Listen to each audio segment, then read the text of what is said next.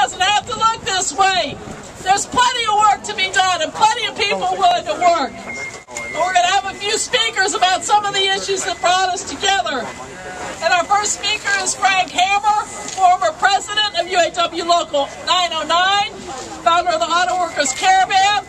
He's talking about why we're, we're going to fight to shoot down this so-called free trade agreement. All right. Thank you. Thank you, everybody. Hey! Hey! What a beautiful day. Uh, we have three issues that we're here for, and I'm, gonna, I'm going to address the first one. I know some of you have already signed the petition against uh, what's called the KORUS FTA, the free trade agreement with South Korea. I want to read you some quotes. You'll be interested as to where they came from.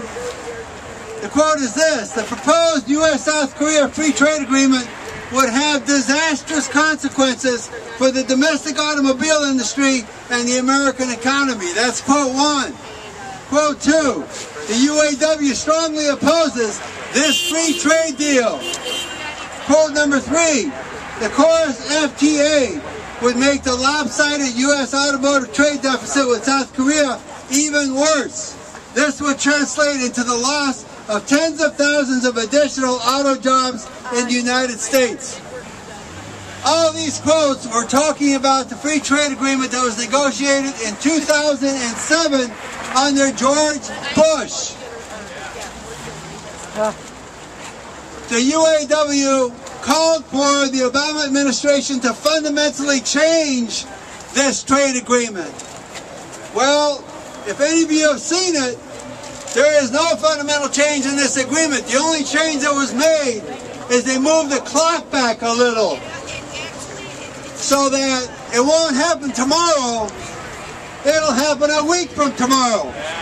And because they gave us an extra week, so to speak, because they gave us extra time, the UAW all of a sudden took back all these words that I just read you and came out in support of the agreement. Because the clock was extended by a few minutes, but the free trade agreement is basically the same.